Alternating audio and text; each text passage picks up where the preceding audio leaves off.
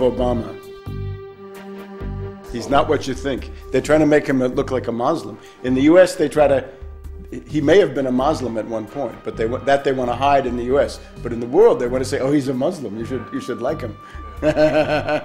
I'm basically a writer. Uh, I'm a historian. I've written about terrorism in Central Europe. I've written about George Bush the Elder. My unauthorized biography of George Bush is, uh, I think, a fairly well known book on the internet. Uh, I've written about the world economic crisis, a book called Surviving the Cataclysm. I've done essays on history called Against Oligarchy, and then 9 11 Synthetic Terror Made in USA. And I have one book that's now out Obama, the Postmodern Coup The Making of a Manchurian Candidate. But I'm so alarmed by the, the phenomenon of Obama that I've written not one book this year, but two. There's a second book coming out, The Unauthorized Biography of Obama. In terms of US politics, uh, my task is basically to call people's attention to the most dangerous uh, covert operation that's going on at any given time. From 2001 to 2007, that was the entire 9 11 myth and the attempt to start uh, wars the Afghan war, the Iraq war, and for a time the Iran war. Uh, up until about the middle, say about July, August of 2007, that was a very real danger, so I focused on that. Now, that danger is changing. It has radically shifted. The, the greatest danger is now a covert operation around the candidacy of Obama. It's a kind of political coup d'etat going on in the United States with great danger for the world because the policy represented by Obama is more aggressive, more militaristic, and generally speaking, more uh, catastrophic than anything the neocons had. There's nothing, nothing good to say about McCain, just much worse things to say about Obama. Obama is a world tragedy in the making. This is a catastrophic situation if Obama becomes president. He is a puppet of the Trilateral Commission, and in particular of uh, Zbigniew Brzezinski. And this is a clique of bankers. They ran the Carter administration. Many people today don't remember how disastrous the Carter administration was, but it was a, a very, very uh, terrible time, uh, economically as well as uh, strategically.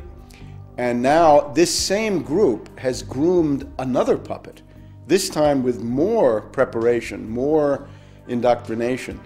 So, this is the moment where this clique of bankers decides to bring in a new face.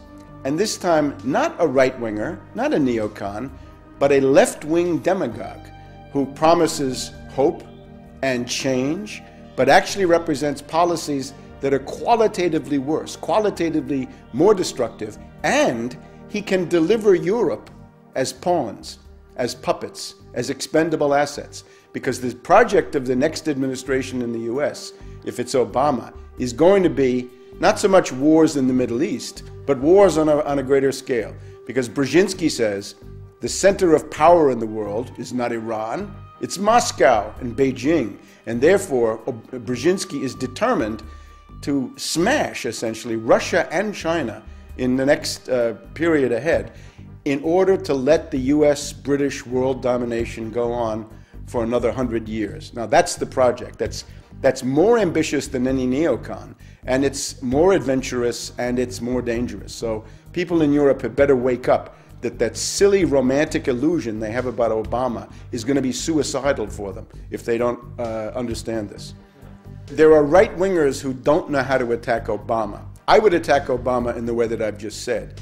He is a puppet of finance capital of the worst possible circles of David Rockefeller, George Soros, and this group. And their project is extreme austerity, savage reductions in the standard of living, and uh, the basically immiseration and impoverishment of the United States. Uh, in terms of foreign policy, it is this plan to have a global showdown with Russia and China. So for that, they need uh, left cover. Now, the right wingers don't know how to attack this. So they basically try to argue either that Obama is a communist, which I think is not accurate because he's a servant of finance capital. How could he be a communist? Or that he's a Muslim because his middle name is Hussein. he lived in Indonesia for a while, and he may indeed have, have considered himself a Muslim at some point in his life. Uh, I would, however, notice the two fathers that he had. He had a father, first of all, from Kenya, his biological father, who abandoned him, a guy called uh, Barack Hussein Obama Sr., and then an Indonesian, a guy called Lolo Soetoro. Uh, both of them, it seems to me, were more devoted to Johnnie Walker Black Label Scotch whiskey than they ever were to Islam. So I don't think the, the, the Muslim connection really makes any sense. But I would add one thing. If you want to become president of the United States, you're asking to get your finger on the thermonuclear button. There's a button that launches intercontinental ballistic missiles with H bombs on them. From that point on, we, the public, want to know everything about Obama. Everything. If he was a Muslim at some point, great, let's find out. And everybody knows it. I think that's fine, but other people may not agree. The main thing, though, is that we've got to know everything about him. We've got to know did he sign up for social uh, for selective service? Is he HIV positive? Does he have a criminal record? Is he bisexual? Uh, does he smoke crack cocaine? These are all charges that have been made about him. The guy is a puppet of the worst circles of imperialism. In other words, he's interested in the same imperialist project carried out in a much more effective uh, and clever way, although ultimately in a more insane way. Um, let's just take the case of Iran. The neocon looks at Iran and says, somebody like McCain, right? He says, we want to bomb Iran. Brzezinski says, you're crazy. You can't do that. You're too weak. You're too bankrupt. You're too isolated. You're too hated. You know what you do with Iran, says Brzezinski? He says, I don't want Iran at war with the United States.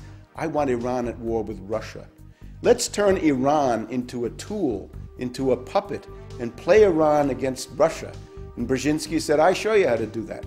I played Afghanistan against the Soviets, and I destroyed the Soviets.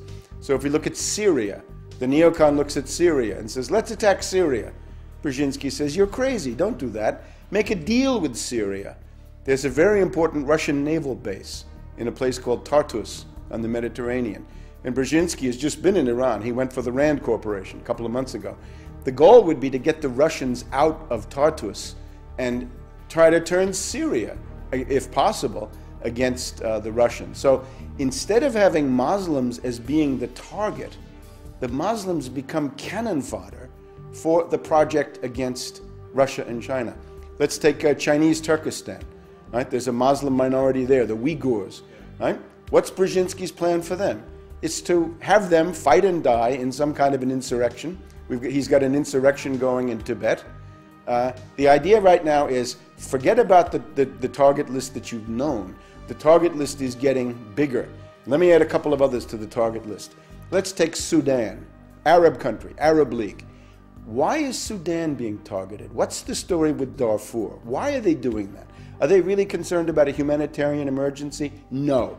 They're concerned because 7% of the oil for China comes from Sudan. They're looking desperately for a, a, a, pretext to go into Sudan, overthrow General Bashir, and cut off that oil going to, uh, to Sudan. Now let's take the really big one. Up until now, everybody's been focused on Iran. And will the U.S. attack Iran? Will the Israelis attack Iran? I say no, they won't. The U.S. and the British will not. I can't exclude some Israeli crazy. That's possible. But I don't even believe in